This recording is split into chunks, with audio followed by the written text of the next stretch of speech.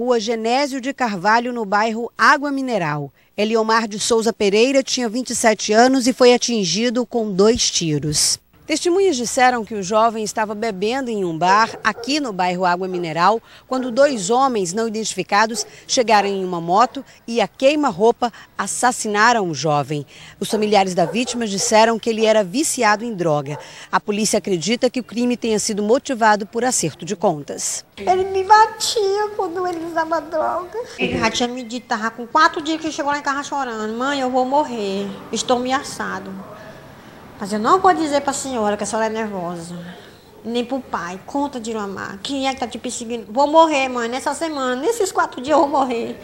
Mas ele não disse, não chegou a dizer que estava perseguindo ele. O corpo do jovem ficou no IML durante boa parte da manhã do domingo. A família encontrou dificuldades de conseguir a liberação do corpo, porque a vítima não tinha documento de identidade.